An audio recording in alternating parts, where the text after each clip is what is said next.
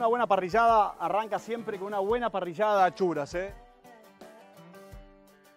Vamos a arrancar con lo que más tarda, vamos a arrancar con las mollejas. Fíjense, estas mollejas divinas que tengo yo acá. Simplemente lo que vamos a hacer es sacarles el exceso de, de hielo de agua que yo les puse. Yo trato de mantenerlas siempre las, las achuras bien frías, ¿eh? Y simplemente lo que vamos a hacer, estas achuras, es ponerle un poco de sal, parrilla buena temperatura y vamos a empezar a cocinarlas, ¿eh? enteras. Y acá lo importante en una parrillada de achuras es ir poniendo las achuras según la duración de cocción. ¿eh? Las mollejas es la que más tarda entera, así que la pusimos primero. Tripa gorda a mí me gusta, la tengo también acá, acuérdense, bien limpia. Las tengo siempre con hielo. Lo único que hago yo con la tripa gorda es dar la vuelta y las voy a cocinar del lado de la grasa, ahí. La grasa se va a ir fundiendo y me va a quedar nada más que la tripa, que es como un chinchulín más grande, pero es mucho, mucho más sabroso. Le vamos a poner sal entre fina, bastante.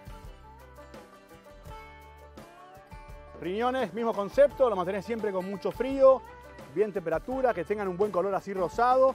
De vuelta, sal.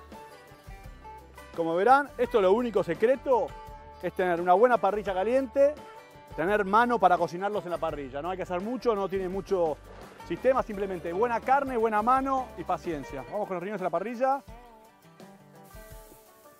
Del lado de la grasa para abajo. ¿eh? El chinchulín es importante hacerlo bien dorado, bien crocante por fuera y que te quede bien un poco húmedo por dentro. ¿eh?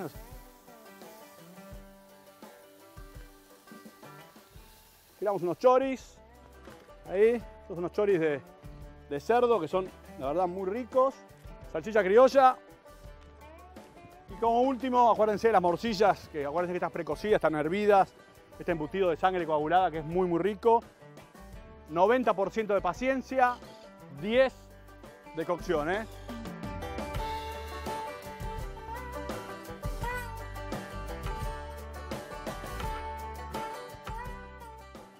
Acuérdense que cada chura tiene sus tiempos.